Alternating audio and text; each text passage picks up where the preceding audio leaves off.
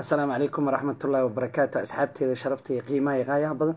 Waa maskiinkii maskiin caawad uga barateen barnaamijyo tayla meel walba dunida daclada ka joogtiin soo dhawaada assalaamu calaykum waraxmatullaahi wabarakaatu soo dhawaada asxaabay waa maskiinkii maskiin caawad uga barateen barnaamijyo tayla meel walba dunida daclada ka joogtiin soo dhawaada assalaamu calaykum waraxmatullaahi wabarakaatu soo dhawaada asxaabay waa maskiinkii maskiin caawad uga barateen barnaamijyo tayla meel walba dunida daclada ka joogtiin soo dhawaada assalaamu calaykum waraxmatullaahi wabarakaatu soo dhawaada asxaabay wararkii ugu dambeeyey ee magaalada muqdisho gudoomiye cumar finish waa inii sheegay hadda ka hor. Aniga waxaan baaraa waxaan cumar finish gobolkii ma joogo ayaantaan lama arag. Ninkii ma xanuunsan yahay ninkii maxaa ku dhacay?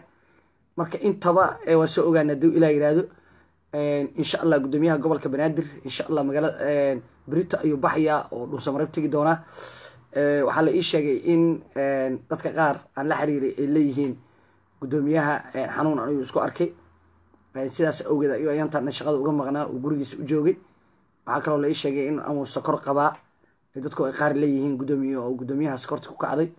Marka insha allah gudoomiyaha hadda waa caafimaaday boqol kiiba boqol waa ka bogsoomay. Waxaa la ii sheegay in uu berito tegi doono dhuusamareeb oo gudoomiyaha gobolka banaadir. Waxaa la ii sheegay in xafiiskiisa dhalinyaro ka shaqeysa iyo agaasimayaal gobolka banaadir ka tirsan ay haddadaanba gaareen iyo ciidamo ilaalo u ah gudoomiyaha gobolka.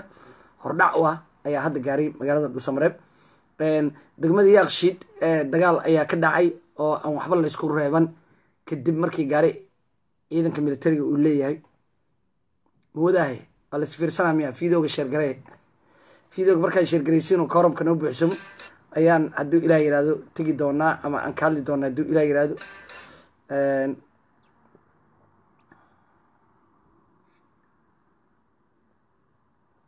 weli waxaan raadinayaa komediyadiina raadiya raalli aada walaalkay macaana waa mahadsan tahay farxaan akira uga horreeya kaysa ku xiga cabdiwahaaba ku xiga deeq maxamed deeqo maxameda ku xigta wacalaykum asalaam waraxmatullahi wabarakaatu dhammaantiin meel walba aad joogteen waxaan leehay asalaamu calaykum waraxmatullahi wabarakaatu magacayga waa ismaaciil haddaan iskiin baro dad badan qaar ima yaqaanaan. Magacayga waa ismaaciil maxamuud shidane. Facebookeyga waa gudoomiyaha isdhexgalka bulshada. Youtube-keygana waa samanfale media group. Adigaa qeybka ah. Marka youtube-ka subscribe saara gamareelka forlegna saar. Soo dhawaada wararkii ugu dambeeyey ayaa idinka dabageyn doona. Hadduu ilah yihahdo soo dhawaada videoga sheergare la wadaaga asxaabtiina dadku waxayna soo weydiinayaan haddii sheekh shariif iyo xashan sheekh doorasho iyako ay wateen ay dhacday. Waay gudoomiye waa noo sheegtay. Waay sababta. Marka sababta waa sheegi doona hadduu ilah yihahdo soo dhawaada videoga sheergaree haddaan ugu cusub tahayna youtube-ka subscribe saar gamareelka forlegna saar. Soo dhow. Arrimahaasa ugu muhiimsan.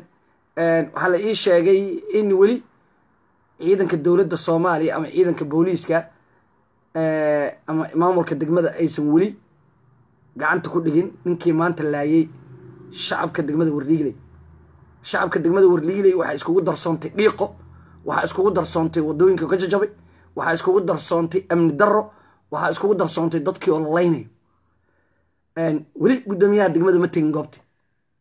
Gudoomiyaha degmada weli goobti ma tegin. Waxaa la ii sheegay taliyaha saldhigga inuu mar dambe yimid mar dadkii la qaaday oo dadkii xaajiyad meeshii maraysa qaar kamida la saaray oo haweenay ku jiraan dhalinyaradii bajaajleyda ahana qaar ay la carareen si ay dadka u badbaadiyaan. Wax baawur oo yimid oo gurmud u fidiyey ama ambalas haba yaraate ma jirto. Marka dhibaatadaasoo dhan waa dhibaato shacabka degmada wardhiigley ay ka sameyn maamul xumo hadda degmada wardhiigley dhiiqaa dhex fadhisa dhiiqo dhiiqo aaska dhex fadhisa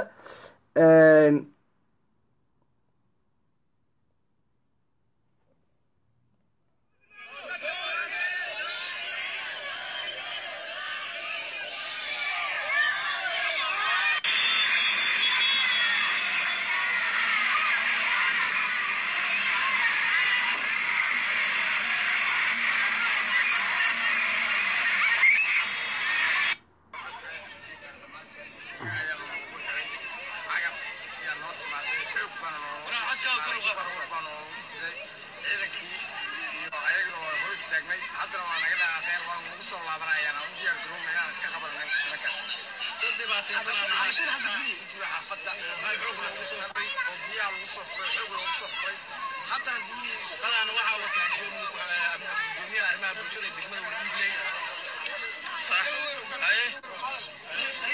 asalaamu calaykum waa u jeediyeen wardiigle waa maasantiin muuqaalkani waa cusub yahay hadda la iisoo diray oo waa inii sheegi karaa saacadda la iisoo diray. Wallahi fifty five minute ka hor fifty five minute wallahi saacad ma dhamo ayaa la iisoo diray waa shacabka degmada wardigley oo maanta biyo lagu soo fasaxay cagaf loo keensaday wayna dagaalameen waana diideen cagaftii waa carartay ciidanka waa ka carareen degmada. Waxaana la ii sheegay in gudoomiyaha arrimaha bulshada degmada oo arrintaasi gudoomiyaha degmada uu wado marka haddii dadkiina xamarjiid ay dhiban yihiin oo dadkii biyo qaadeen maxaa la yidhahdaa dadkiina la dhacayo maantana labaatan qof oo degmada lagu dilay oo ilaa hadda dad kamida degmada ay baalkii ii sheeg maxaa la fiidooga sheergaray ay daawanine please. Salaantana kulliga waa in ka qaado. Dadka inaan salaanta ka qaado salaantana ay qaadi dhahayn derawan waa kuwaas wacalaykum assalaam waraxmatullahi wabarakaatu. Dhammaantiin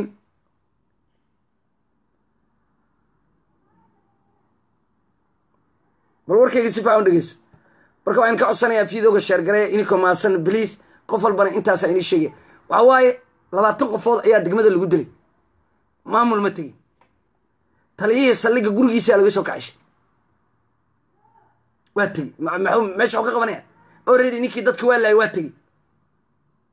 Bararkayga dheyso waxaa la ii sheegay in shiika meesha iska leh sida degmada aan waraystay guriga dadka iska leh ayaa culummo u timid sida ay fal ku dhaceena rabaa inaan kagu ramo culummadii waxay u yimaadeen dadka mingiska hayo ee mingiska laga tumo. In dad badan oo xanuunsan ay magaalada degmada deg yihiin ama dad badan oo kaaraan ka yimid dadku way iskaga jiraan degmooyin badan iskaga yimaadeen. Haba u yaraatee dadka maanta saddexda shanta qofood oo dhimatay. Hadda marka hore saddex inii sheegay laba gadaala laiga soo sheegay oo isbitaal ku dhimatay. Shan qofood ayaa dhimatay. Shantaas qofood reewardhiiglow labaatan kalena waa dhaawac.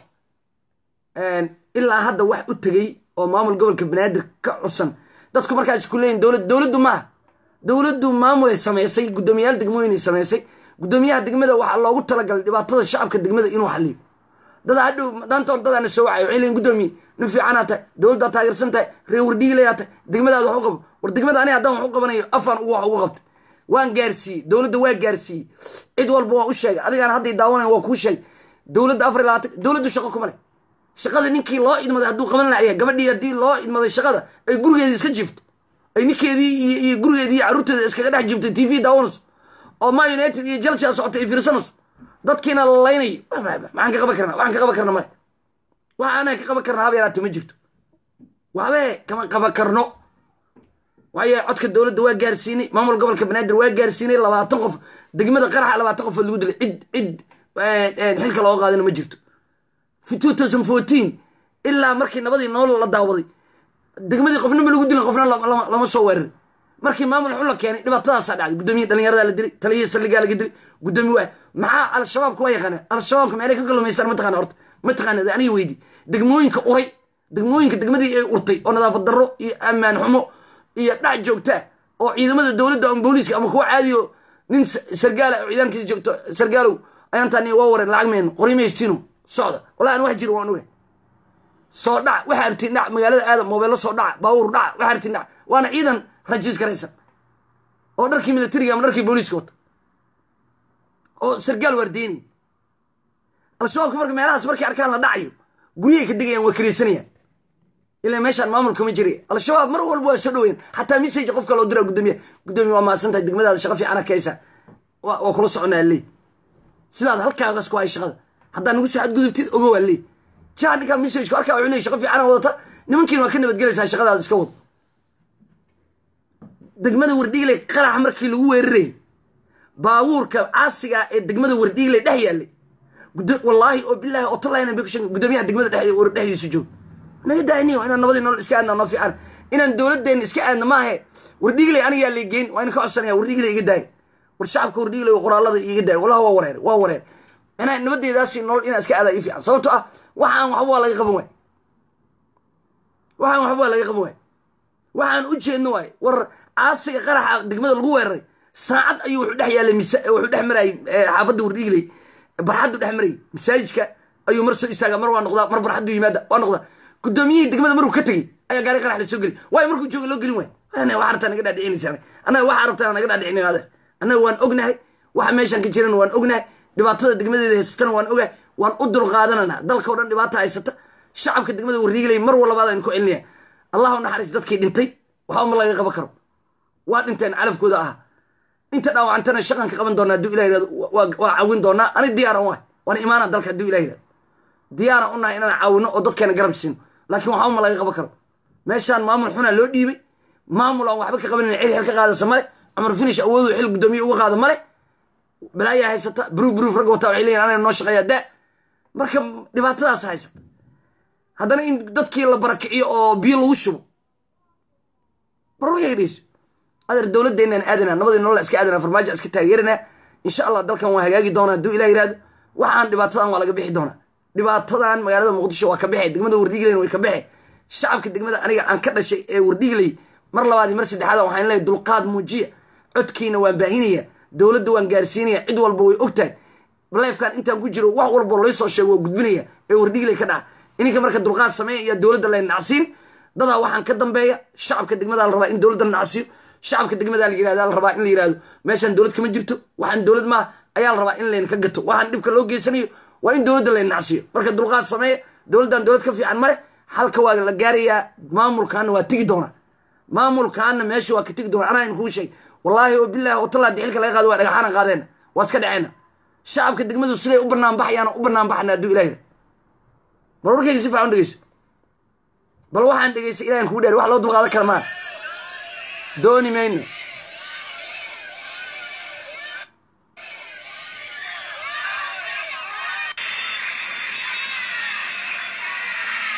intaasoo kun oo taageerayaal ah oo wardhiiglaya maamulka ku banaan baxayaan dooni mayni leyin yaa ka bedelaya cid ka bedela ma jirto stiil dowladday jeceliyin stiil dowladday jeceliyin marka waa dul qaadanana waa dul qaadanana. Soddon sanaan dulqaad ku jirin waa ku darana hadduu ilaah inta doorashada maxamed cabdullaahi farmaajo uu soo noqonayo bilooyinka haray dulqaad muujiya hadduu ilah dalkan insha allah hadduu ilah degmada waa la dooran doonaa. Qofaa rabtiin oo ku qanacsantiina imaan doona. Mar dambe tuug oo mooryaana oo lacag iyo iyo tugnimo iyo gurigiisa inuu iska joogo degmadiina dadkii roob iyo dhibaato iyo lagu dilay. Ilaa hadda labaatan qofooda degmadeeda maanta lagu laayay oo nin qori wata uu lex galay meel jinka lagu jinka dadka looga tumo. Cid bini aadan oo tagta male saldhig taliyihii saldhigaa mar dambe yimid aa layiri goorma dadkii mar lala kala cararay oo layiri ninkan waa tabcaan. Naftaa ka bixinta bajaajka la saara la cararay oo bajaajsi islaami dhiig la saaray. Baawur dadamiisa male. Baawur ambulance degmada male. Dhibkaasaa degmadii wardhiigile ka jira. Marka ininkan waxaan ka codsanaya inaad baahisiin si cumar finish u arko madaxda sare ee dalka u aragto. Hawaa dadku waa dhibaysiin mar waxay tegaya in gacan layskula tegay tegaya mar ay foolxumo badan tahay ayay tegi doontaa qaabkay degmada ku socoto degmada haddii kale haddaan dadka laga qaban shacabku si u socdaan degmada imaanaya. Intaasaan mar labaad idinkugu celinaya marka waxaan ka codsanaya videoga sheergaree waxaan aadi doonaa dhulsamareeb hadduu ilaah yiraahdo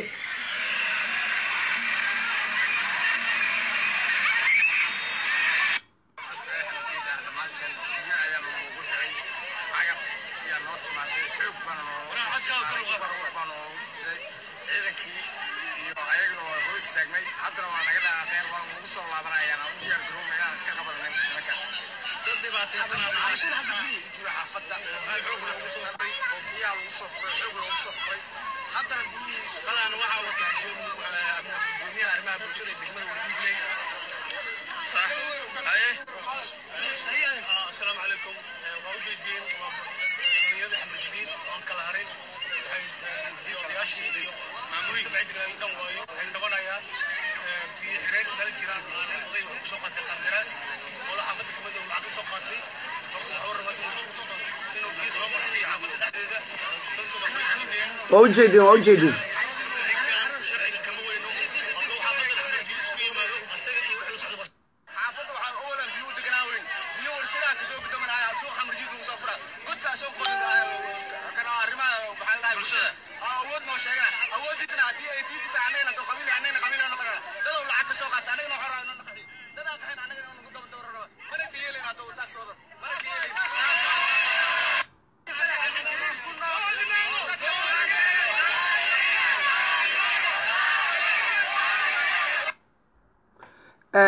mahadsan yihiin dadka degmada xamarjiya degan ee degmada warta nabadda aadaan kaga mahad celinaya codkiinana waa baahin doona. Hadduu ilaa yidhaahdo maamul xumada degmada ka jirta iyo dadka in biyo lagu shubo oo cagaf intii la qaato dadkii deegaanka biyo lagu riixo aqliga meesha tuba intii la keena ama buyud la keeni laha oo dadka degmada ilaa nala shaqeeya oo dadka degmada la jeclaysiin laha dadka noocaasoo kale hadhowdi ina wuxuu leey intuu dhex galo dowladdaa ka dambaysa waxaan dowladdaa ka dambaysa ninaa dhex gelaya firia oo mucaarada ayaa intuu dadkaas dhex istaago wuxuu leeyahy kaarta inay haya arrimahan dhan anaa og. Dowladdaa ka dambaysa dadkan waxaa la rabaa in la barakiciyo oo dowladdu ay barakiciso waa nin tuuga oo degmada ka tirsan hoola wato ayaa dowladdii dhan loo saarinaya. Marka arrimahaasna aadan uga digayaa waana mahadsantihiin marka dhuusamaree baa aadi doonaa fiidooga sheergaree anagoo codkayga waa ku qasbanaya inaan u baahiyay degmada warta nabadda waa ku dhashay. Xaqaan u leeya waana tegi doonaa.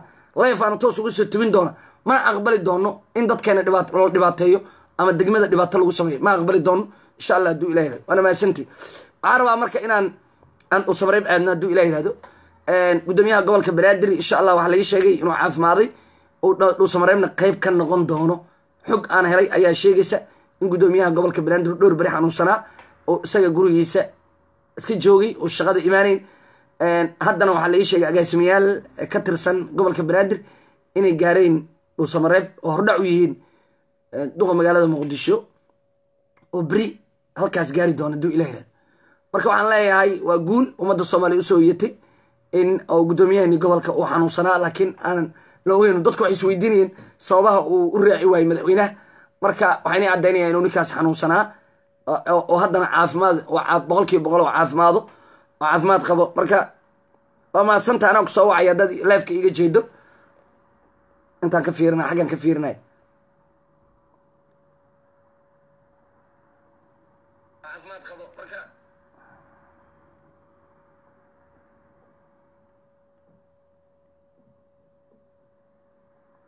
waa laga qaadayaa qalbi oo hadduu ilah yiraahdo waa laga qaadayaa qalbi yare wax step waxaan waa step waxaan waa laga qaadayaa waxa sababaha loogu qaadi karina waxay tahay qof madaxtooyada ka shaqeeyo agaasimo dhan ahaan jira meesha keensaday xilalka qofaa iska isticmaalaya. Adeer qof qof jidka maraya xilka loo dhiibi laha qofkan awoodda uu ku joogayo awooddu isticmaalayo. Iyo in madaxweynihii dalka la geen waayo degmadii warta nabadda oo biyo looga cabsoodo waxaasoo dhan waa awood jirto waay qofka inuu gurigiisi tago t v iska daawado uu yidhahdo real iyo waxaa socotay barcelona degmadiina ay dad biyo dhex fadhiyaan oo biyihii daadka daad qaadeen. Waa dareemi kartaa marka insha allah waa laga baxaya waa dadaalana waa laga baxaya. Marka videoga sheergareye wacalaykum assalaam waraxmatullahi wabarakaatu marka hadduu qeyb ka noqdo duqa magaalada muqdisho waxay noqon doontaa awood kaloo dheeriya oo ay madaxda dalka yeeshaan. Maxaa yeelay cumar finish madaxweyne farmaajo la socdaa. Kayre madaxweyne farmaajo la socdaa xaliime yarey waad maqlaysay in amar lagu siiyey. Wararka soo baxay waxay sheegayaan maanta xafiiska qaramada midoobey warqad ka soo baxday lagu sheegay in aysan marnaba aqbalayn. Bal warkayga si faa in marnaba aysan aqbalayn waxay dhici doonaa alla og in intii lagu heshiiyo doorasho dadban oo madaxda dalka ay yirahdaan warqad kale intii loo qoro la yiraahdo aqbala. Horta anaga ma caddeyn karno. Waxa waa isbedeli karaan. Laakiin waxaan rabnaa waxa taagan inaan ka hadalno. Gabadhaan hadday gabadhaan wiilkan dhashay inaysan wax kale dhigil doonin adi ma sheegi karta. Alla subxaana qaadiraa sheegi kara annaga waxa maanta taaganaan ka hadlana. Safiirka qaramada midoobey soomaaliya u fadhiya qaramada midoobey waxay sheegeen inay soo dhaweynayaan doorasho qof iyo coda. Aan doorasho dadban wax dhiyarada aysan marnaba soo dhaweynin waxayna sheegeen in xaliim yarey ay taageeri doonaan wax walba oo halkaas ka yimaada ee xaliim yarey ay uga kanta inay taageeri doonaan. Warkayga si fiican u dhegeyso mar walba waxaa ka go-an iyo guddoomiyaha baarlamaanka iyo xildhibaanada iyo madaxweynaha iyo ra'iisul wasaaraha waxaa ka go-an in dalkan doorasho qof iyo codal geliy maxamed cabdulaahi farmaajo boqolkiiba boqol wuxuu og yahay haddii shacabka doorashada la geeyo inuu isaga madaxweyne noqonayo. Boqolkiiba boqol maaha boqolkiiba sagaashan. Sheekh shariif iyo xashi iyo maamul goboleedada iyo intaan kaleo soo raacda waxay aaminsan yihiin mar labaadii mar saddexaadan kuga celaa waxay aaminsan yihiin warkeyga si fiican dhegeyso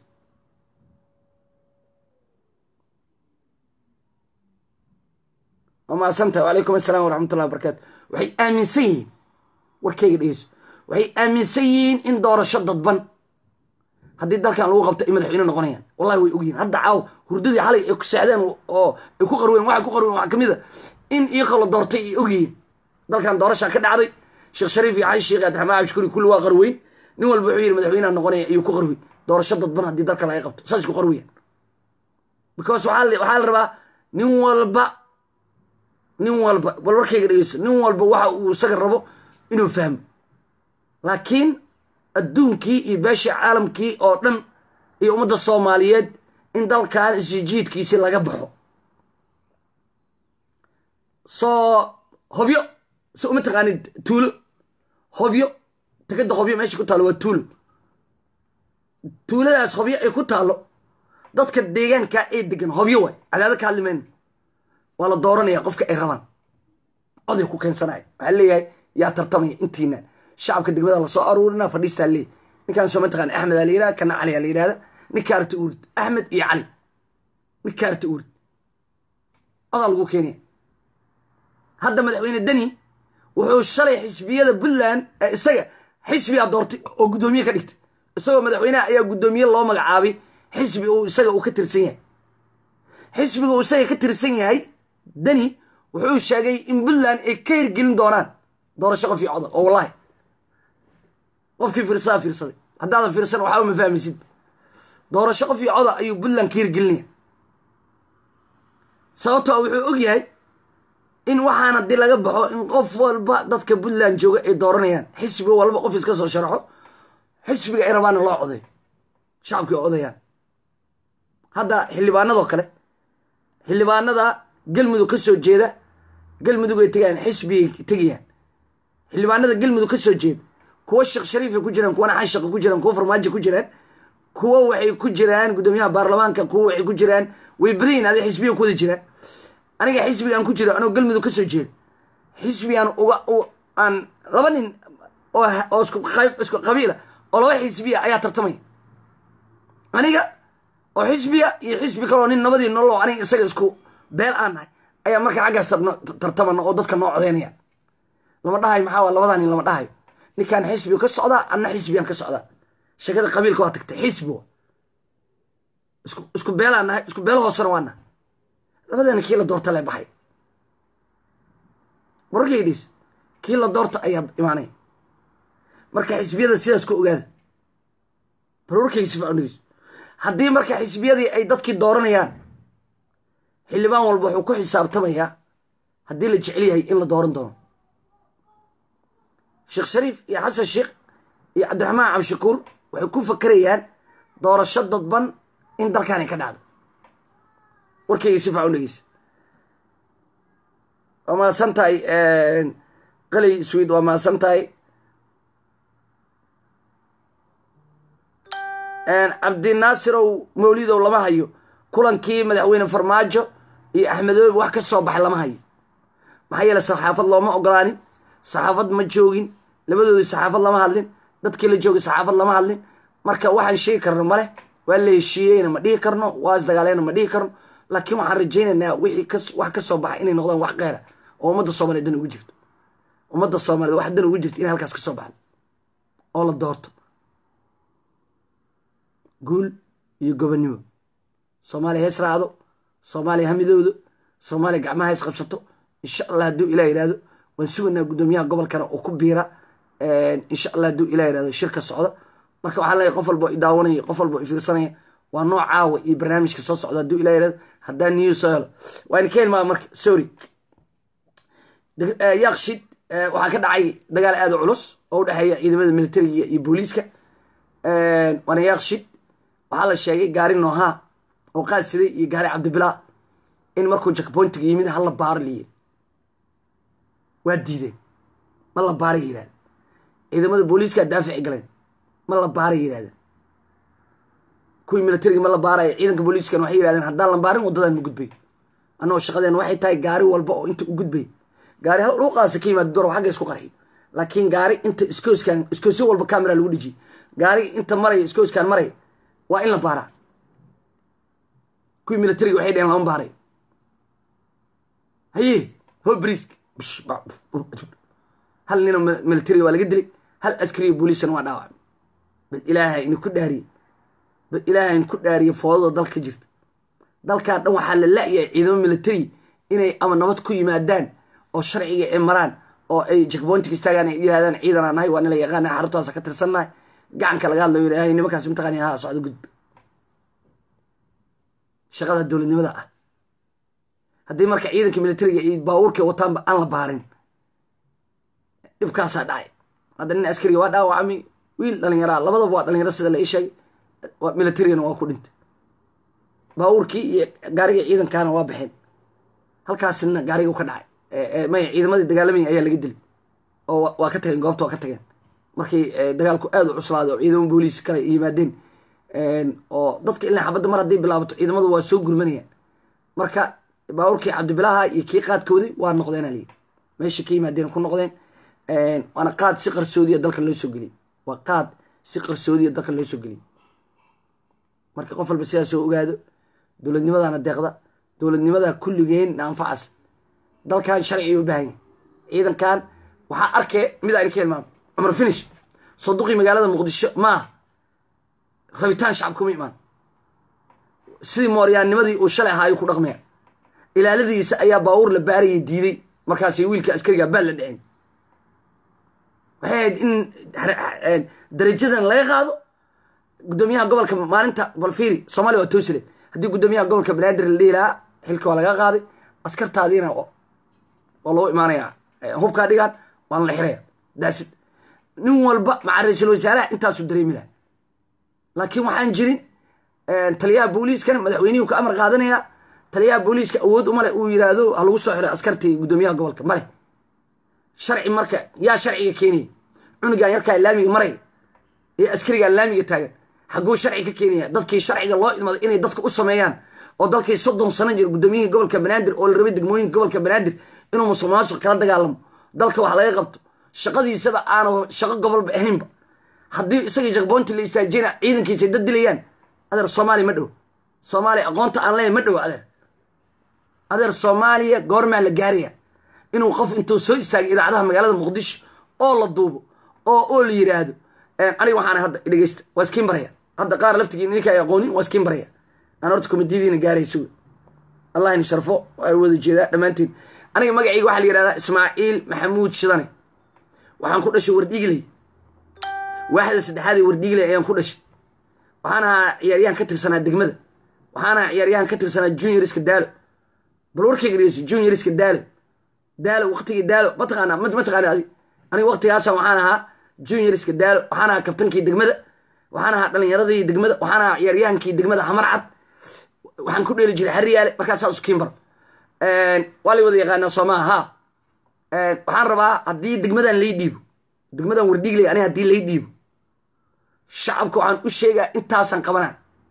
Warkayga si fiican dhegeyso intaasaan qabanaa. Maxaa ilan waan dhegeysanayaan maw dalka soomaaliya intuu intaas ka gaarayo weligii dowladnimo dhalan mayso. Maxamed cabdullaahi farmaajo maamul goboleed u yeero waa loo imaan waay. Isagii aaday see marka xushmadda aniga aan raadinaya maxay tahay madaxweynihii dalkaa la yiri kaala imo aniga ismaaciila ismaaciil aniga laftiga iga soo qaad madaxweynaha farmaajaan la dagaalay. Madaxweyne farmaajo waa loo geeyay lifekayga loo geeyay waxaa la yidhi ismaaciil mataqaana haa. Wuxuu ila dagaalsan yihi waa lamarkayga la siiyey way soo wacay gudoomiye ismaa madaxweyne maxamed cabdullaahi farmaajo waay. Nima xaggee igala dagaashay nio wallaahi maa qaan aniga waa iska kaa waayo aan wada hadalna imo yiri maya eri markuu imaanay adii imo eri waa madaxweynihii dalka. Aniga taatan lahayn madaxweynihi waaya xaggee joogtaa yiri madaxweyne halkaasaan deganay baabuurkii ciidanku soo qaata gurigiisi ugu gurigeygii fadhiga ayuu madaxweynaha ila fadhiistay xushmad miyaa? Wanaag miyaa? Ani magac ii tahay sharafay ii tahay? Imaa in aniga madaxweynihii u tago oo madaxweyne halkaas kula soo heshiiyo oo aan life intaa soo galaa iraado maanta laga bilaabo aniga madaxweynaha waa heshiin soomaali markaasay ogaanaysaa dadku inay isku dulqaadanayaan laakiin inuu madaxweyne aniga ii yimaado i raali geliyo. Soomaali intay ka dhowdahay marka. Ninka raba marka inuu madaxweyne u tartamo farmaajo ka qaado dowladdu afar iyo labaatanka saac ku dhagisan yahay dadka lagu laynayo beled xaawana kama hadlo. Oo dadka gado lagu laynayo kama hadlo. Ciidamada kenya joogta kama hadlo. Dhibaatadan maamul goboleedada kama hadlo. Dalkan dhibaatada haysta kama hadlo. Dhaqaale xumada lacagtii soomaaliga waan la soo saarayn dowladda kama hadlo. Hadduu maanta intuu mar walba sheekh shariif iyo xashaqi miidiya tigi lahayn wallaahi oo bilaahi oo haddii xisbiyada aan ka tirsanaan lahaa mucaaradka oo baraha bulshadana aan ka taageeri lahaa iyaga maalinta ugu horeysa muqdisho markaan tago kulan la yeelan lahaa. Sheekh shariif iyo xanshaq waxaan dhihi laha mi maqlisiin haa doorasho soo marabtiin haa dalkan qabiil iyo xoog iyo kursi iyo dhiig lagu raadiy wixii uu naga soo dhammaaday qabiil wax lagu raadiy waa soo dhammaaday hadda madaxweyne soomaaliyada u rabta. Gabadha gada joogta inay madaxweyne ku tiraado calankaagii iyo sawirkaaga qaadqaadata rabta. Gabadha kismaayo meesha ugu dambaysa deegaanada joogta waxay rabtaa inay tira madaxweyne sheekh shariif salama rabo. Gabadha sool iyo sanaag joogta inay ku taageer soo haa wixii aad ummaddan u qaban lahayd ka hadal. Dowladda dagaalba waxba ku qaadin. Aniga haddaad dowratiin sidaasaan sameynaa aniga waxaana sameynaa. Dowladdan maxay qabatay? Ciidankii laba boqol oo siiyeen. Laba boqol oo dollar ayay joogtay ciidanka u siiyaan. Aniga haddaa dowratiin shan boqol oo dollaraan siinaa ciidanka. Askari walba intii dhaqaalaha dalka uu soo korayay shan boqol oo dollaraan siinaya hal xidiglaha kunaan siinaya laba xidiglaha laba kunaan siinaya nin walba darajadiisi shan ninka shanta xidigaas shan kunaan siinaya dadku waxay leeyihiin ninkan waa nin fiicanba. Lacagtii soomaaliga waa soo saaraya e v c gan iyo dollarkan dalka waa ka baabi'inaya. E v c gan iyo dollarkan dalka waa ka baabi'inaya. Waddooyinkan magaalada muqdisho oo maalin walba intii la dhiso biyo fadhiisanaya dumaya lama dhisayo. Shirkad fiicanan keenaya laamiga lama dhisayo. Laamiga dhan waa la jaraya. Hadda laamigan dhan waa haddii la xiro dadku laami kale marayaan. Laamigan dadkan musasar maa inay xiraan. Inay maraan qasab maa. Laamigan ilaa lamber afar ilaa ex control afgooy ilaa madaxtooyada waa la xiraa cid mari karta male dadka shoppingka dabka markay yimaadaan degmada waa beri. Degmada waa beri dadka ku ekaadaan soo lugayaan lamber afar nin walba dukaankiisa hortiisa yimaad. Laamiga waa la jaraa isaga dhan. Waa la jaraa waa la qodaa. Tub baa la gelaa. Ama shabaqa la gelina. Laamiga ilaa intaas waa la jeexa dhulka waa la jeexa roob walba u yimaado dhulku gelaya. Dadku waa ku jeclaanaya waxa le ninkan nin fiican waayo. Wuxuu la imaanaya war hala doortaa le ninkan marka yidhiis lacag soomaaliyan dalkan keenaya wallahan dollar la qaadanayn e v c la qaadanayn. Dollar lacagta soomaaligan kor u qaadaya dollarka dhulkan gelinaya war ninkaan hala doorto ala fiican laakiin markaa maalin walba iraado farmaajo wallahi billahi talahi doorasho kama hadli waqti maxuu ii kordhinaya farmaajo doorasho kama farmaajo sideed february dalkan waa u egtahay hadduu doorasho cod qofi qaban lahaa iyo haddii doorasho jijifo qaban lahaa farmaajo isagaa laga rabaa dalkan meelna u jeeyo laakiin adi sharaftaadi magacaaga waxay ku jirtaa inaad tiraahid dadkaan aniga waddooyinkaa dhisaya kaabanka magaalada muqdisho dhan guryaan ka dhisaya. Waxa la yidhahdo masaakiin lama arki doono. Dadka masaakiinta dharaa loo geynaya bacaa loo geynaya cuntaa loo geynaya meel cunto loogu kariya loo samaynaya musqulaha loo samaynaya guryaha loo dhisaya. Magaalada muqdishona isbitaallo waaweynaan ka dhisaya. Fiiriya waa dhisan yihiin maa isbitaallo waaweyn degmo walba. Kaashiiqaal boosay ku leedahay booskaas dowladda gadanaysa isbitaal kii ugu weynaan ka dhisa dharkeynle sidoo kale. Degmo walba isbitaal weyn oo dadkeeda ay tagaan oo lagu dabi baa loo dhisaya hal qof dabadda loo qaadi maa markaa nin fiican waa leey shacabku waa leey farmaajo naga raadlow farmaajo cid ku malaa leey madaxweynahan hal doorto laakiin dadkeena saas kuma tartamayaan. Hadda xisbigan ingiriiska ku dhegan ee mucaaradka dimuqraatiga afar iyo labaatanka saa wuxuu xisaabaya lacagaha dalka shaqaalaha dalka. Shaqaalaha shaqaalaha oo kambaniyada ka shaqeeya. Ma badan yihiin mise waa nusqaameen dadaa shaqooyinka iska dhaafay waa yaraadeen baalkii ii sheeg lacagtii ceerta waa la yiri lacagtii maxaa la jibiyadii qaar waa la xiray. Intaasoo dhan wuxuu leeyahy ani haddii la doorto jibiyada waa la furayaa daawadaadu waa free shaqooyinka lacagta waa la badinayaa shaqooyin badanaa la keenayaa meeshii nine baan qaadan jirtay labaatan baana laga dhigayaa nin walba shaqo waa carare shaqada markii yiraha saacaddi labaatan baana lagu siinaya waa carare madaa iyo guri iska fadhinaya shaqa waa carare idhays kii jirana xataa wuxuu leey lacagtii jirada laga jeeji jiiskii waay shaquu gelaya waxaa lagu tartamaya fiir waxaa lagu tartamaya fiiri. Laakiin maalin walba dhaliil iyo dowladnimadu iyo hanjabaad iyo qabiil iyo in la yidhahdo muduloodaa shiray iyo isku yimidi dowladdu waa ka digaynaa dowladdu waxaa leena maalin kuma darsan karti waxaas waxay soo kordhinayso ummadda soomaaliyed waxba uma aragto. Ummadda soomaaliyed waxa u muuqdo farmaajo dabaquu dhisay. War fiiriya shan madaxweyneha dalkan soo martay. Shantii madaxweyne hal waddo ma dhisin. Hal dabaqna ma dhisin farmaajo waa yimid hal waduu dhis hal dabaqna waa dhis. Yaa la dooranaya shan madaxweyneha dalkan soo martay. Lacagay cunaan iyo waxay cunaan iyo meelay iyo ka dhistaan oo meelay qaataan oo carruurtooda isiyaan walaaladood maahe waxay qabteen male. Farmaajo waa yimid. Wuxuu dhisay tiyaatarkii wuxuu dhisay isbartibadii wuxuu dhisay laamiyadii. Yaa la dooranaya farmaajo la dooranaya waxaa lagu tartamaya waxqabad adduunka waxqabada lagu tartama. Haddaada weligaa aada madaxweyne noqon oo aad tahay musharax madaxweyne deegaanka aad tagto aa leedahay iskuulle ma dhisan yihiin waxaasaan ka samaynaya adduunka dhan maraykanka fiiri. Shan nina isharaxaas hadda. Gobollay tegayaan ay codod ku raadinayaan. Ay leeyiin waxaasaa idin qabanaya. Ingiriiska lacagta baankaa lagu xisaabtamaya iyo shaqada iyo wax walba. Marugedhis aniga haddaad i dowratiin oo guddoomiyaha degmada wardhiigle iga dhigtiin oo shacabka degmada i doortaan qof dambe oo cabaadayna ma arki doonto meel biyo degeenoo biyo fadhiisanaya arki mayso maxaa dhacay? Aniga maamulka gobolka banaadirna uma socdo. Dowladdana uma socdo. Shacabka degmada waxay gadanayaan booyada iyada leeyihiin. Cagafa iyada leeyihiin. Ambulance iyada leedahay iyo dadamaysa iyo ka leeyihiin afartaasaa degmada ku soo hareynaya horta oo shacabka degmada ay leeyihiin. Warkayga si fiican dhegeyso waa dadamis iyo cagaf iyo ambulance maxaan ku dhahay? Waa ambulance iyo cagafta qashinka qaada iyo booyad iyo ambulance afartaas ayaan degmada ku soo hareynaya afartaas gobolkana kama rabo. Dowladdana kama rabo. Anaa keenay meesha raba aan ka keeno ama shacabka degmada aan la kaashado ama jaaliyadda aan lacag ka aruursado anaa gedaya afartaas anaa gedaya degmadaan keenaya.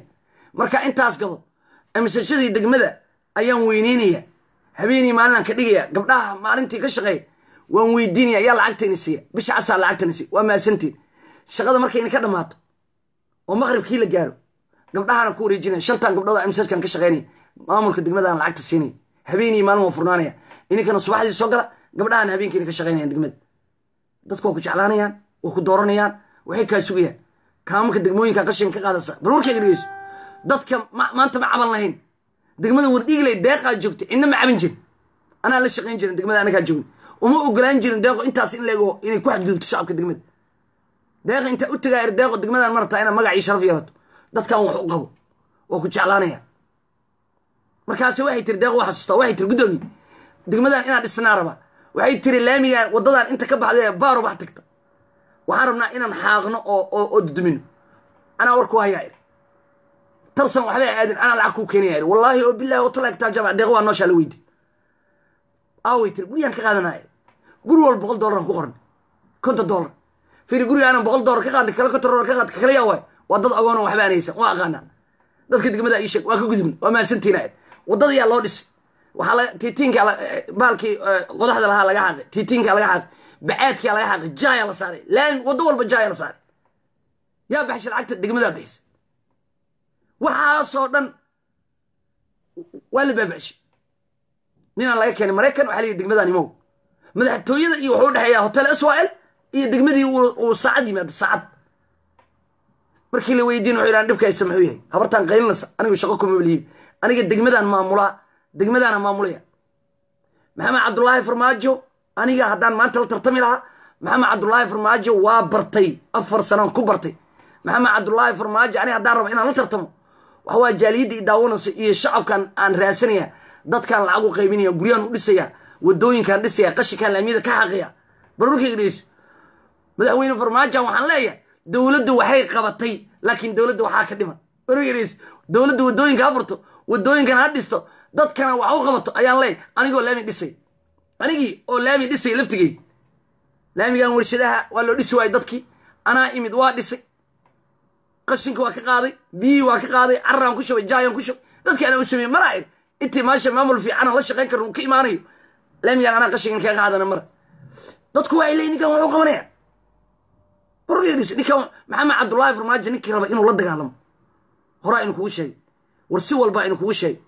Aqligaan inii saa'idi waxaa yidhi maxamed cabdullaahi farmaajo shacbiyadu raadinaya. Waxaa maqle laba beri kabacdi meeshaan ilmo agoona ku xaraysan. Markaasaa waxaa leedahay bal ilmihii u tago. Bal niyow dadkii jahiliyadda wax u weydiiyo ajar ka raaso markaan tago hay ii waran gabaraha meeshaan. Abay ii waran fiican taha abay meeshaan yaa ku xaraysan ilmo agoona okay maasha allah ilmo agoona maa ku jira ha? Maasha allah abay see bal xaaladooda guddoomiye waa mahadsan tahay ilmahan daawadooda iyo dharkooda iyo jiifkooda iyo cuntadooda waa la bixiyaa. Haddaa rabti inaa caawiso oo yaa bixiya bay waa fiican. Dad waa madaxweynaha soomaaliya maxamed cabdullaahi farmaajo. Maasha allah aniga maxaan raadinayay agoontan inaan aniga aan wax siiyo oo magac iyo aan ku raadi. Aan raadinay si bulshada ani beri ii doorato oo guddoomiyaha ay yirahdaan musharax madaxweyne. Guddoomiyaha codka siinana si yirahdaan meeshii aan tagaba maxamed cabdullaahi farmaajo. Waa ku khasbanaya marka. Inaan gobollada aado inaan beled xaawo tago waa ku qasbanay. Oo ilmo agoona meel ku soo xaray waa ku qasbanay. Because dagaal siyaasadeed oo madaxweynaha igula jira madaxweyne farmaajo anugu dagaal siyaasadeed igula jira dadku laakiin ma fahmi karaan. Madaxweynaha dadku la dagaalamaya anoo kale waay. Laakiin sheekh shariif iyo xaji sheekhi waa iska qaylinayaan maayo.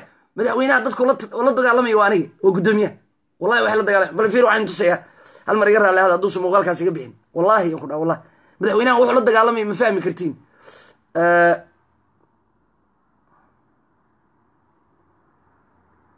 madaxweynaha dadku waa iska qaylinayaan ma fahmi karaan. Dadka ula dagaalamayo madaxweynaha ma fahmi karaan. Mar walbaa inii sheegaa mar saddexaada inii sheegaa ma la fahmi karo.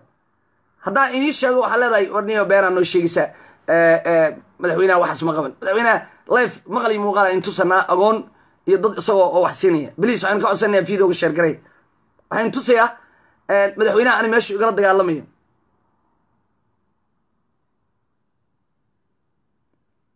hadduusan muuqaalkaasi iga tegin.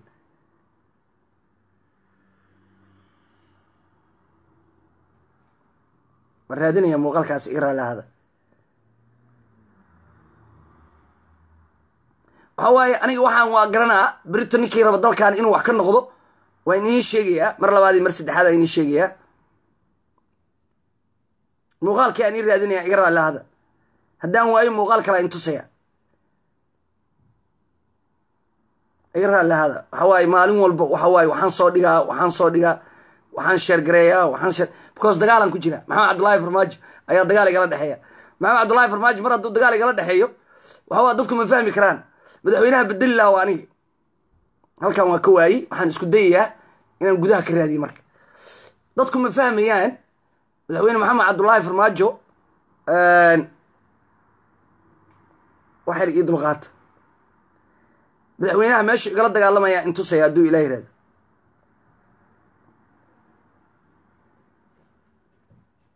xayeysiinoo aade waxaan rabaa marka qof walba intaas inuu ogaado. Maxamed cabdullaahi farmaajo ninkii bedeli laha waa aniga haddaa taas aad aamin lahayd iyo haddii kalaba maxaa yeelay madaxweynaha isku si aan u nahay in agoonta meel lagu xareeyo in agoonta wax la siiyo in dadka masaakiinta meel loo dhiso si berito qof walba markuu arko oo nin masaakiina oo codaynaya u yidhahdo wani ninkaas waaba aqaaneye war ninkaasaan siinaa codka xaguu kugu arkay wa. Meel walba hadda aad tagto. Maxamed cabdullaahi farmaajo agoontan wax sii. Maxamed cabdullaahi farmaajo afgooy agoon wax ku sii. Ceelasha biyaha maxamed cabdullaahi. Dayniile maxamed cabdullaahi farmaajo. Ciidankii naafada xoogga dalka soomaaliya. Meel walba oo wax sadaqo lagu bixin lahaa. Madaxweynihi baaq dhigtaba waa dagaal siyaasadeed wuxuu ku jiraa kalsooni shacab. Kalsooni shacab baa la yidhaha. Shacabkii wuxuu ka raadinayaa kalsooni bal halkaas fiirso adoo mahadsan. Codka balaan iniishado dad badan muuqaalkaas waa arkeen oo malaynayaa waa kaam ka mid ah kaamka magaalada muqdisho waana saddex sano ka hor oo dad roob sidaan oo kale uga dayin.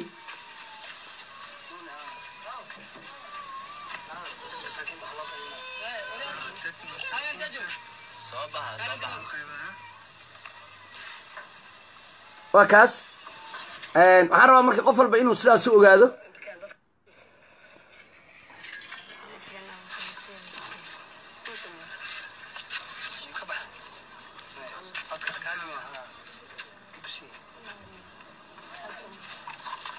Waa kaasi anagoo dadka masaakiinta wax u qaybinan waa mahadsanta tankiyo guddoomiye anaa tankiyo isdhahna annakaa tankiyo isdhahna adii tankiyo kaa rabno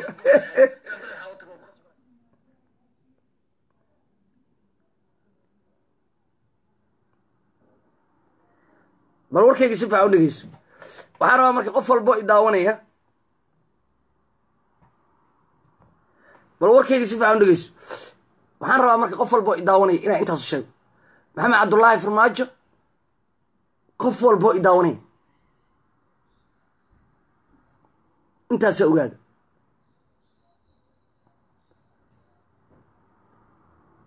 waa mahadsan tahay abuukar tankiyo komadiyadiinaa fiirinaya waa mahadsan tahay marka qof walba intaasu ogaado adduunka waxaa lagu tartamaa waxqabad maxamed cabdullaahi farmaajo maanta wuxuu aaminsan yahay ama caawadan haddii dhuusamareeb intuu qof ugu tago u yihahdo madaxweyne doorasho qof iyo coda ayaad u cararaysaa.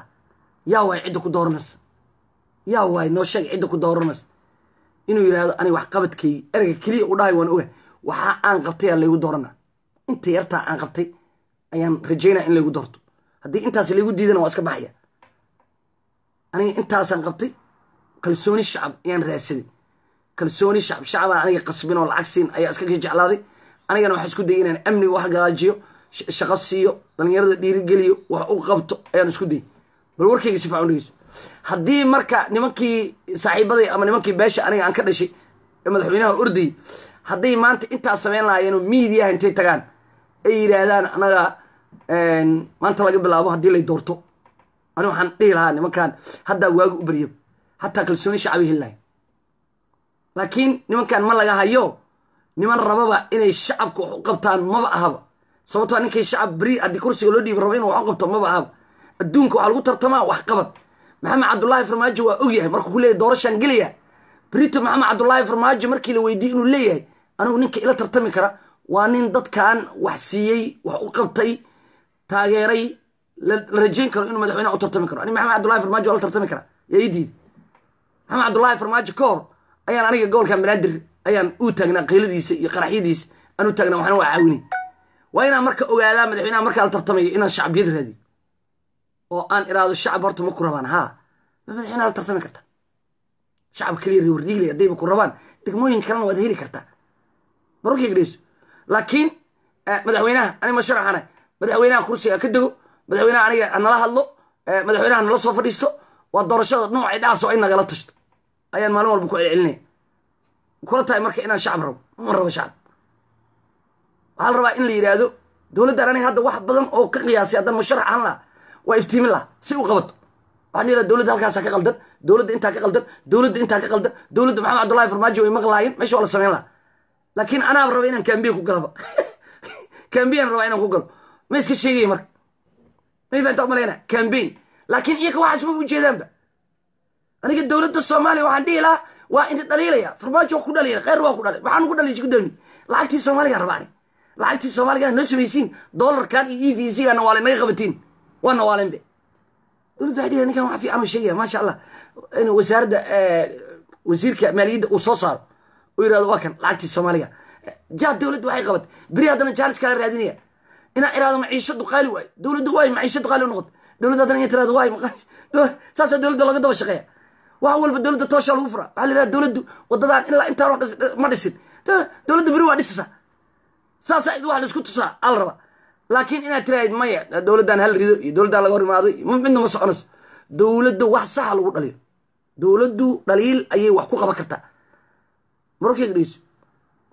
Qofka qofka aan la aan baalkii laga soo horjeesa oo aan la dhaliilin waa alla subxaana qaadira human being aan nahay bini aadan aan nahay carabi ilkaa iskugu dhow waa isqaniinayaan carabkayga ilkayga ma kala celin kara. Hadda mar walba waa kala ilaaliya laakiin marka dambe qab ay siinayaan ma kala celin karti. Markayga dhegeyso maxamed cabdullaahi farmaajo waa bini aadan waa qaldamaya ma qaldamen ma ku dhahayo? Waa kugu raacsanay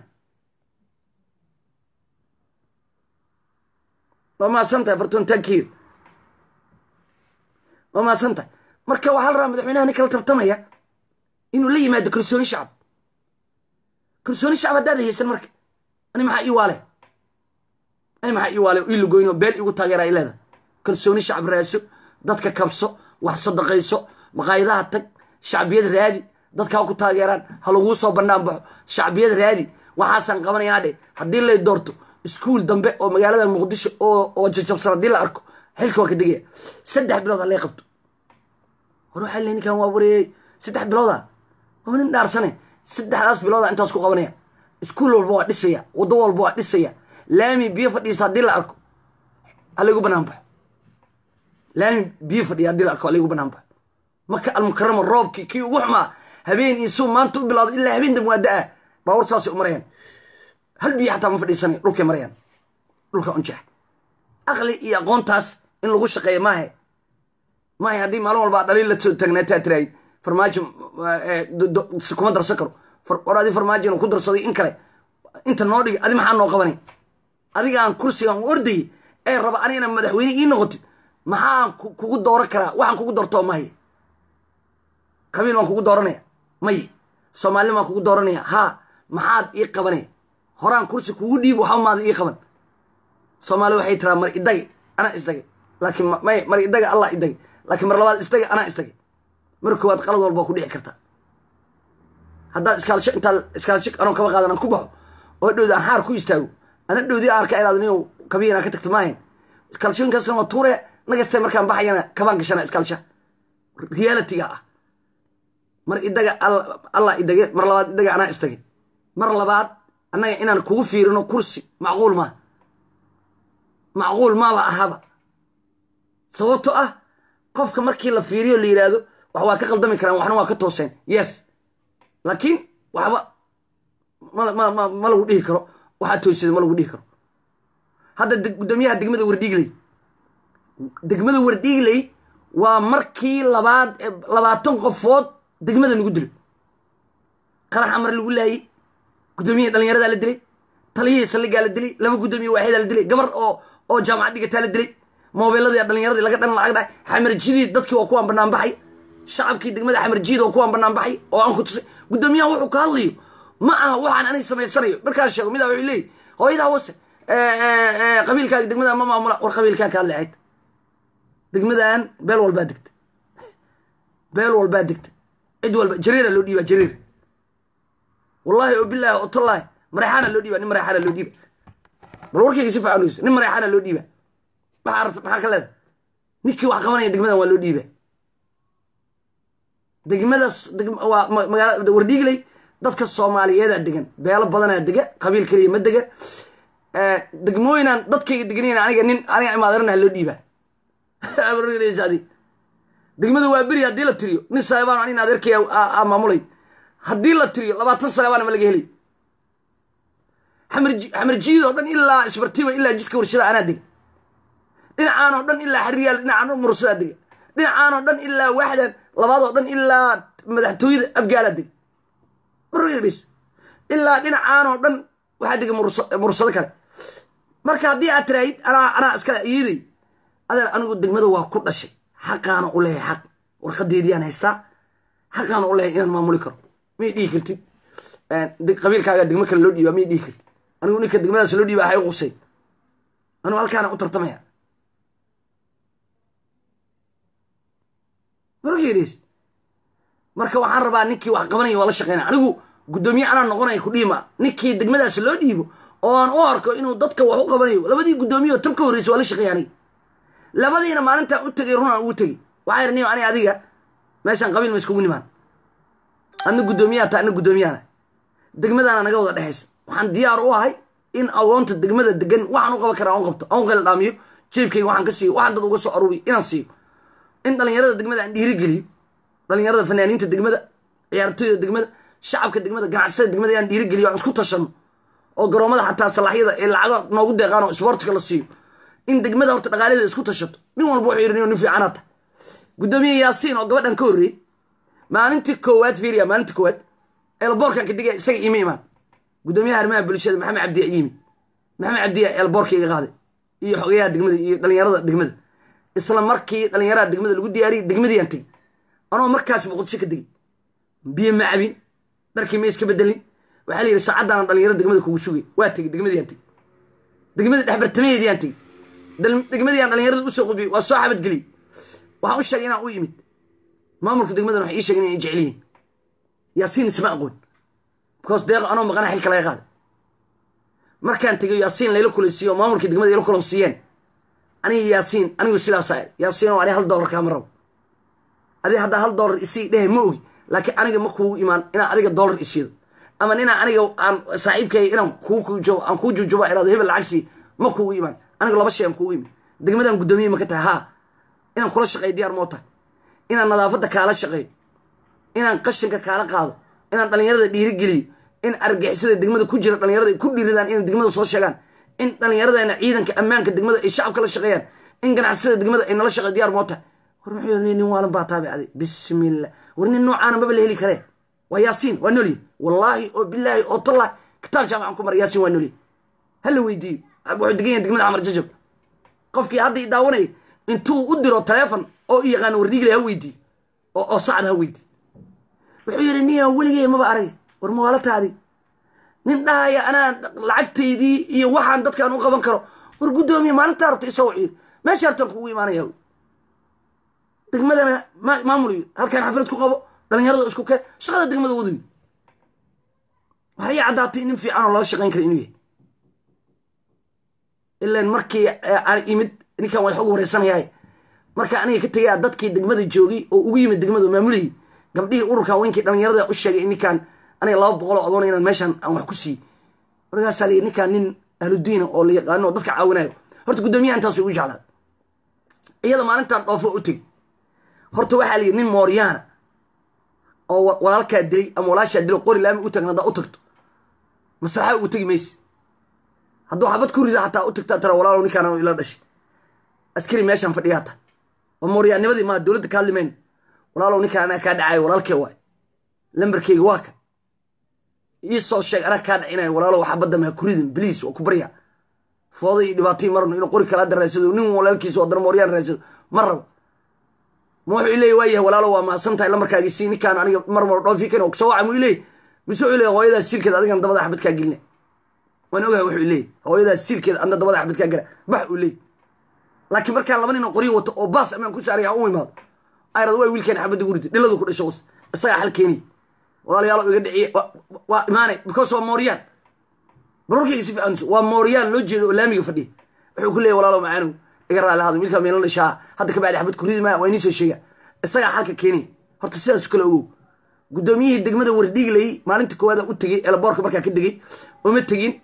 Ciyaalkaana ii sheegeen iisoo dhow madhi kii arrimaha bulshada waxaa iska joog dhalinyaro kalaa imaanaysa guddoomiyaha dhalinyarada imaanaysa guddoomiyaha dhalinyarada oo gobolka banaadir iyo guddoomiyaha xamar jawa imaanaya niyo iska joogaya waayu laba beri saddex beri markaan joogay intaan labistaan degmadii tegay waa lay baray. Xogayaha waxaa yidhi markay timaado isoo wac waa u tegey waa la fadhiistay. Waan u sheegay waxaa rabta barasho wanaagsan ani noocaasaan ahay.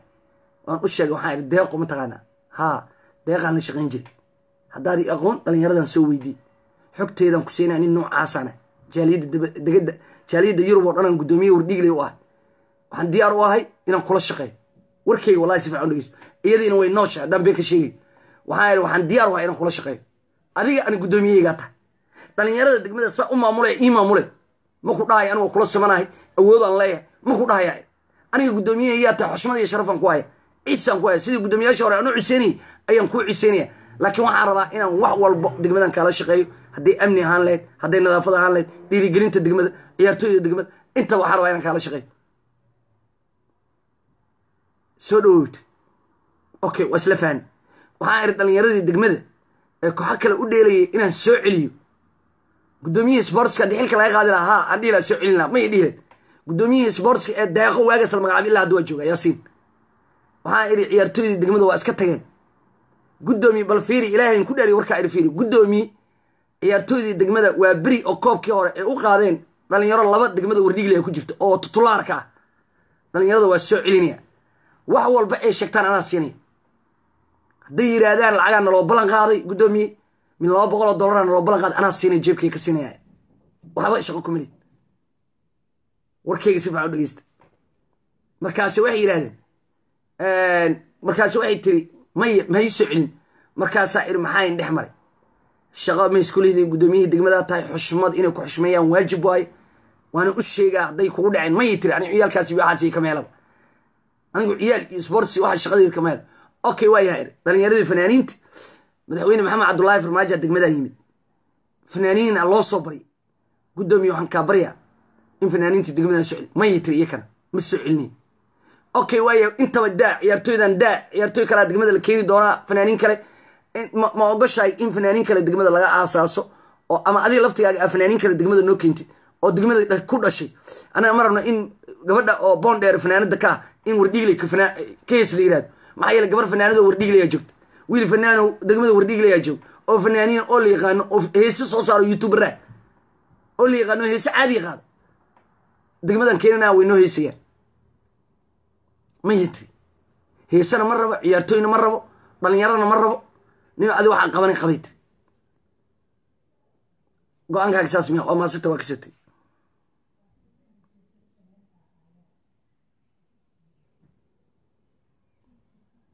dhalinyaradii ciyaartooydii wixii o dhan waa la kulmay. Oo u sheegay waxaa irnimaya iga raallihaada degmadaani ani waa isdayni. Laakiin waxaan ka qaban karo hadday nadaafad ahaan lahayd hadday dadka masaakiin lahayd waa ka qabana waajibkayga waay. Ma uga tegay degmada. Laakiin ogaada anigu degmadaas albaabka ma ka gelay una u socdo. Waay yidhahda waxaa dhacday maalin maalmaha ka mida oo koobkii degmooyinka la qabanayay ayaa dhallinyarada degmada waxay ugu yimaadeen gurigaygii aan deganaa. Waxay yidhaahdeen macquul maaha intaasoo koob oo magaalada muqdisho aad joogtay. Bal ilaaha inuu ku dhaariya haa ama may iisoo qora. Wacalaykum assalaam waraxmatullahi wabarakaatu. Haa ama may iisoo qora. Waxaa idhi waxay yidhaahdeen intaasoo sano oo aad magaalada muqdisho joogtay koobka degmada ee rabadaan walba waa nala furi jirtay. Guddoomiye noo imow koobkii lacagtiisaan kaa rabnaa maaliyadaan kaa rabnaa waa kuugu nimid ama ama hadda dhoofe maya rabadaan waa jooga koobkaa nala dhameynaya biladahadaa bixinaya adaan kaa rabnaa anaga maamulkan degmada koob iyo waxba nooma gado. Adaan kugu tashana. Nin iga daaya degmadaas maya yidhahdeen degmadii tag. Waaye. Degmada ma aniga iska tegaa marka doqon maaha. Laba wiilo qoryo wataan aan kaxaystay biskooladaan qaatay degmadii aan tegey wiilasha degmada waa aqaanaa intaa u tagaa rabadaan dhinac aniga istaafkayga waay. Gudahan la galay gudahan saas u oo dhallinyaradii u khudbay iyadana aysan imaan. Ayaa hal mar soo gashay degmadii xogiyihii degmada u dhacday waxay tiri ninkaan yaa degmada soo geliyay xogiyihii wuxuu yidhi ninkaan degmada anig kama saari karee ka saaru yidhi ciidanna waa leedahay adig ka saaru yidhi. Kii arrimaha bulshada u wacday wuxuu tiri ninkaan yaa soo geliyay ninkaan degmadii waa ku dhashee si uga saarnaa liyi degmadiis degmadiisii waa degmadii dhibaato ma hadduu hadda dhibaato hayo haldaa la hadlaya degmada dhibaatada ka daalley laakiin annaga kama saari karno. Adiga maamulkii dhan anigay raaceen waxay go'aansatay inaysan goobta ciyaarta laga furayo ay soo gelin. Ilaa aniga intaan fadhiyo. Maamulkii dhan waxay go'aansadeen iyada xafiiska iska fadhido. Maamulkii dhan waxay go'aansadeen in ciyaartii la furo. Oo guddoomiyahan xafiiska iska fadhiyo. Ciyaartii la furay ciyaartii la bilaabay. Ceebay la noqotay. Iyadoo soo socota ciyaartii ti loo joojiyey oo ciyaartii socota la istaajiyey oo microfonka loo dhiibay ay soo fadhiista ee dhinacaas fadhiista dhinac aniga fadhiyi maa dhinac iga soo horjeeday fadhiista. Because aniga uqdada iga qabtaa ninkaana guddoomiye degma rabo ayay iga cararaysaa guddoomiye deeqa markaan la shaqeynaya maxay dhihi waysa guddoomiye degma rabtaa yaasiin markaan u shaqeynaya maxay dhihi waa guddoomiye degma? Aniga markaa iyada u tagay maxaan dhihi waa guddoomiye degma rab oo kula shaqeynaya guddoomiyegaa tee. Dadaa igu diray waxaa la yidhi waxaa la yidhi ninkaan degmadu rabaaye yuu iskugu soo caanbixin degmada ka ceeri degmada xafid loogu dhigi adiga balaayaa lagu akhriyay xaggaasay fadhiistay intaa fadhiistay labadii wiilo saa qoryaha watan inta ii fadhiyen aniga biskooladeeda meeshaan igu jirtay meeshaan iska fadhiistay. Ciyaarta markay dhammaan rabtay wallahina beenin sheegin ciyaarta markay dhammaan rabtay ayaan baxani. Sababtoo buuqa iyo iyo iyo iyo inta ciyaartooyda albaabka inta isjiijidayaana dhibaataa marka. Biskoolada kaa dhici karta. Kuwiyaa ku dhex jira waaba ku dhex jireen al-shabaabki marka waxaa idhi ciyaartoo labaatan daqiiqa ka dhiman oo ciyaarta kulushahay oo koox gool lagu leeyahay aan iri ciyaartooyda intaa istaagay waa salaam. Iyadoo fadhisa ay dhalinyarada dhan istaageen degmada oo iyo wada sabciyeen oo wada salaami waa ka tegey. Albaabka markaa saas uga baxay. Wallahina beenii sheegin albaabka markaa saas uga baxay. Luuqaan saas u galnay yarka baabuurka wata dhinaca istaaga dhir degmada isku soo hor istaagay dhinacagi dhiiga istaagin dhinacaasaa ka lugeyn. Markaan baabuurkii koray aan baabuurkii dhaqaajinay ilaa ciyaarta wax ilaa ka dhiman labaatan daqiiqa intaan sii soconay markaan gurigii tegey oo baabuurkii wiilashii iska diray oo kuwii dhallinyaradiina aan xaafadda aadeen ayaa taleefon orday ii soo dhacay markaasaa la guddoomiye guddoomiyahi dhalinyarada waa la dilay. Macquul maaha wallahi waa la dilay. Taleefkiisi wax maba dhacayo markaasuu uu gabar guursaday labaatan iyo siddeed beriyo qabay. Waxaa la ii sheegay nimanka ninkaanba inays rabin aniga inay dilaan rabin. Oo wallaahi oo bilaahi oo tallaahi ciyaalka degmada waxay ii sheegeen markaan mar walba degmada ka soo baxayay oo xafiiska xogeyaha iyo guddoomiyaha arrimaha bulshada aan gelayay kuwa i weydiinaya ila socday marka dhalinyaradu waxay u haysteen dhalinyarada degmada ka shaqaysa oo wiilasha qoryaha ka shaqeeya oo iska fiirfiirinaya ciidankan. Laakiin waxaa la sheegay labada nin wiilka dilaba inay degmada joogeenba guddoomiyaha dhalinyarada. Bal warkeyga si fiican u dhegeyso ila nin qorya wato ma soo raaci karaane. Way ogaadeen in aniga staff wato. Waa iska baxay marka. Wiilkan dhalinyarada intuu degan yahay cabdillahi cawre cabdillahi ma staff loo kaxaysana. Anugu haddaan deganahay wiilashan ma soo wateen. Cabdillahi cawre degmada waa taas saasuu u baxay waa ka daba tageenno biskoolada ma gudahay kula jireenoo loo fasaxay? Ma gabar luuq u taagneeda ka qaateen? Cid bini aadano sheegi karta male dhallinyaradiiyo saas u yaacasa oo degmada ka soo baxaysa iyo laba nin oo ka daba tagtay oo xabad ku riday may marka hore waa arkay waa cararay xabadii kadaba riday dhabarkii uga dhacay. Dhabarkii markay uga dhaceen sii ordeen ku sii dhufteen. Ciidankii ciidanka degmo ciidan waxaa jooga ugu yaraan labaatan nina oo iyada qaar staff oo toddoba nin iyada staff u tahay iyo ciidanka oo dhowr nina oo degmada lama burin labadii nin lama burin. Dhalinyaradii kulli waa istaageen xabadda markii la maqlay. Ninaa la dilay ninaa la dilay. Maxay ahayd marka?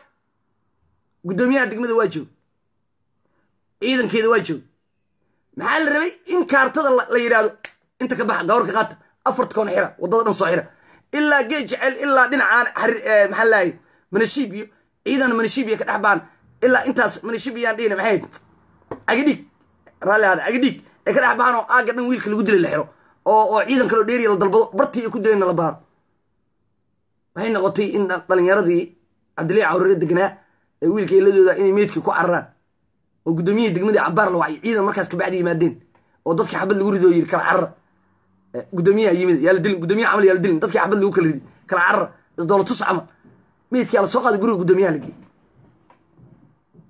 barurkayga si fiican u dhegeyso waa ka digay magaalada muqdishoan joogay waxaa iri degmadii wardhigley amni darro wa muqdishoa dhex taagana cid bini aadan wax ka qabata male maamulkii lama bedelin. Yariisa waa joogay waxba kama bedelin. Madaxtooyada soomaaliya darisay leeda waxba ma laga bedelin. Cid bini aadan wax ka qabata male waa ka digay waa ka digay waa ka digay. Waxaa iri degmadii ammaan darray noqotay. Anoo qaylinaya layiri aamus guddoomiye aamus shib. Taliyihii saldhigaa la dilay shib aamus stubid baa tae waa lii jawaabiya al-shabaabaa leefkii ka jawaabiya war amni darro waay degmadii war degmadii hala qabto war degmada wax laga horto. Cabaar ka bacdiibo inaa lillahi wa inaa urga maxaa dhacay? Taliyihii saldhig xaggee lagu dilay?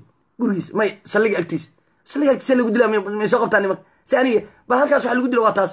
Wallahi isaga baxsi karin iyo billahi tallah meeqa istaafa meeshaan ii taagan. Waxaa dhacday in nimankii ay saa sameeyaan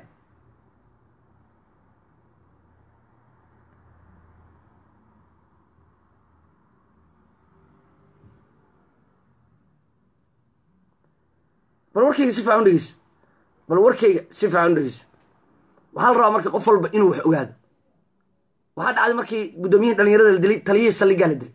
Weli waa ka digey guddoomiye waaxida la dilay waa ka digey mid kalea la dilay waa ka digey labaatan qofood qaraxa degmada la soo geliy waxbaa laga qaban waaya maanta waxay dhashay in labaatan qofood oo kale degmada lagu dilo. Oo nin qori wato iska soo galo. Ee xaafad uu dad ku lahay oo cabaar ka bacdi maamulka degmada yirahdaan gacan ku dhigiliya gacanta lagu qaban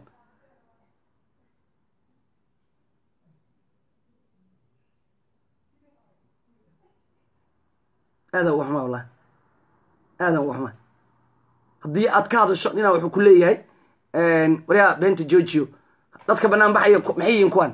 Dadkaan banaan baxaya anigi miya. Degmadan ka sheekeynaya waa taas.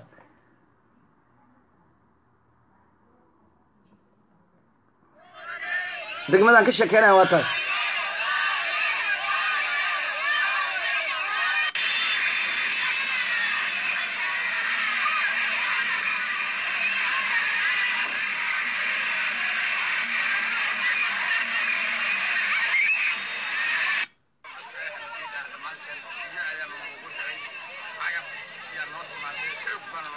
waxay ka cabanayaan waa maamulka degmada. Waxay ka cabanayaan waa maamulka degmada.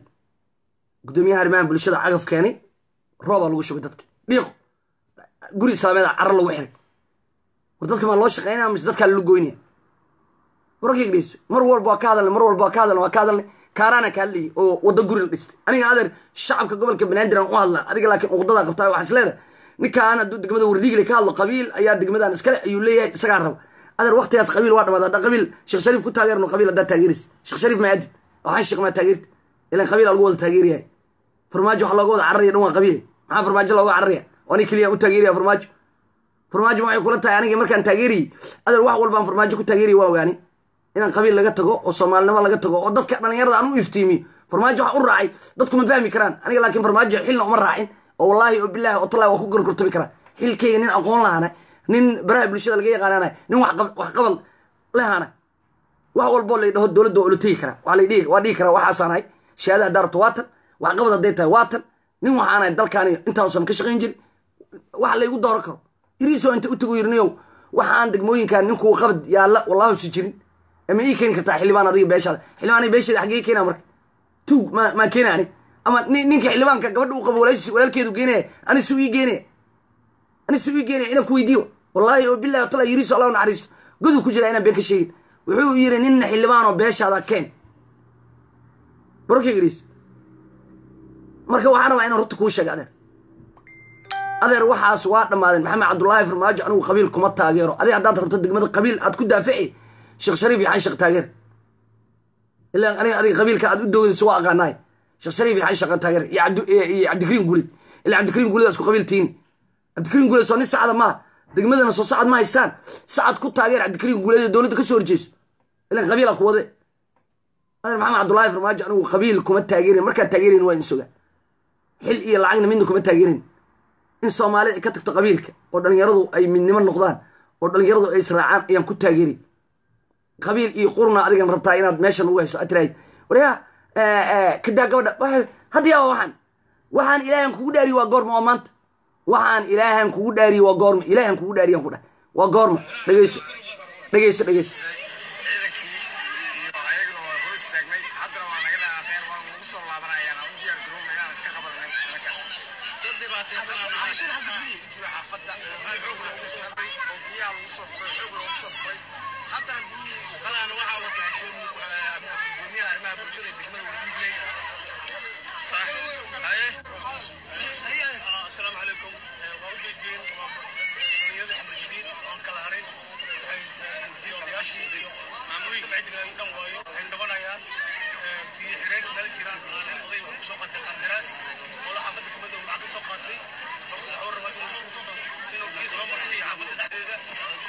oo kuwaas ma jeeda guryaha lagu xiray sharciga kama weyno hadduu xaafadda xamar jadiid isku yimaado asaga iyo wixii la socda xaafadda waxaan owalan biyo u deganaa weyn biyo warshadaha ka soo gudamanaya suuq xamar jadiid ugu soo fura godka soo qodin kana arrimaha maxaa la dhahay bulshada awood noo sheegana awoodiisana haddii ay tiisi tahay annagana doo qabiil annagana qabiil aan noqonana dadow lacag ka soo qaata annagana waxaa noo naqaxi dadaa qaxin annagana nagu daba dabararo mana ka yeelayn hadduu taas ka wadan mana ka yeelayn waa dadka degmada wardhiigley degan khaasatan xaafadda xamar jiid oo dhibaato ka cabanaya maamul xumada degmada. Dhibaatada ay ku hayaan. Ma jirto degmada wardhiigley hadda ka horna way hadleen. Madaxweyne maxamed cabdulaahi farmaajo baaqi ay u direen cid wax ka qabanaysa male waxaa degmada degan dad la dilay aabahood oo dowladda u shaqeynayay. Waxaa degmada la dilay saraakiil ka mid a caruurtoodii aabayaashooda oo degmada degan saraakiil military iyo booliis iyo degmada xamar jiida lagu dilay barorkeyga dhis haddii la leeyahay gudoomiyihii degmadii qaraxa gaaray degmada lagu haynaa war qarax maahee wax warba gaara durab meeqaa dhimatay. Jiw daajiid ilmihiisiyaa joog. Dhaga badan maa militariga loo dhiibo hadday dhaxal tahay. Adeer waxaan dhaxal maahe waa waajib.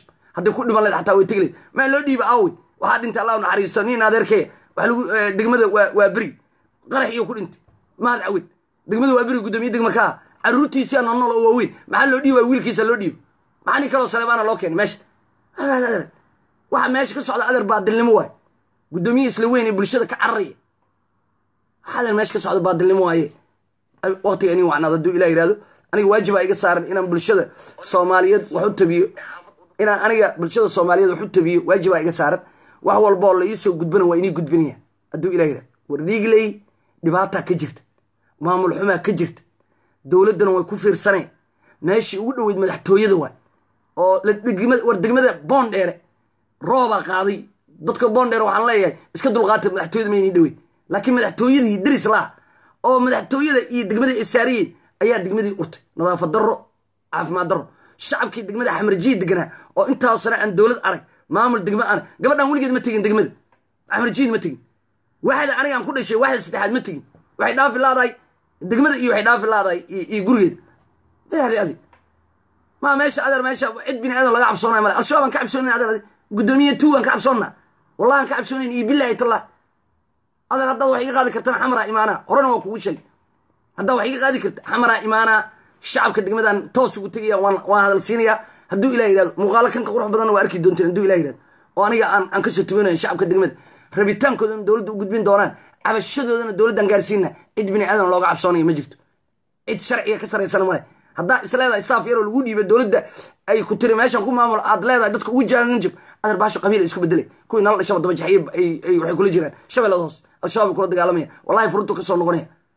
Haddaad qori dowladda aa igu faanto isagaa wuxuu ka soo furunta wallahina been sheegin. Baasha hadda waa maqlay wuxuu yidhi qabiilu noogu faanaya uu yidhi gudoomiyaha arrimaha bulshada. Soddon sanay qabiil ku jireen dadku. Qabiil maa dib loogu celinaya. Awood in dadka loo isticmaalo. Adeer haddaad is leedahay qabiila dadka uga xoog badan tahay adeer dadkaa qabiil ugu fahanaysa ma hadduu ilah yirahdan waa wada joognaa bulshadana waa gaarsiinanaa guddoomiye tuugaa tahay adiga iyo kuwa lamidan degmadan ma maamuli doonaan.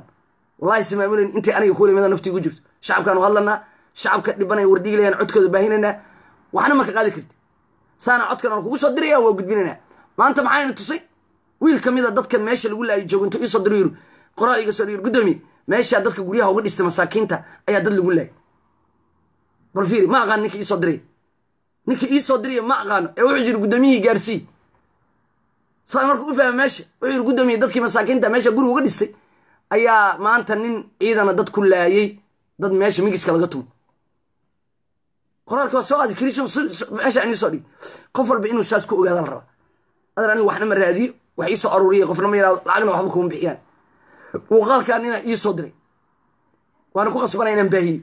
Haddana facebookan toos u soo dhigay hadduu ilah yidhah in laga yeelaya ma jirto inay shacabka degmada wardhiglay ay caburiso kuwii iida ka horreeyey ayaan ka diidnay inay shacabka been ugu shaqayn waayaan oo shacabka caburiyaan adigana lagaa yeeli maa wallahi lagaa yeelin iyo billahi tallahi haddii hooyada ay madaxtooyada ka shaqayso ama ayada madaxtooyada ka shaqayso wallahi lagaa yeelin iyo billahi tallahi anaa kitaab jaamaca ku maray waan islaamaya haddaad igu cusubtahay youtubeka subscribe saar gambalaalka forleegna saar guulaan rajeynaya bye bye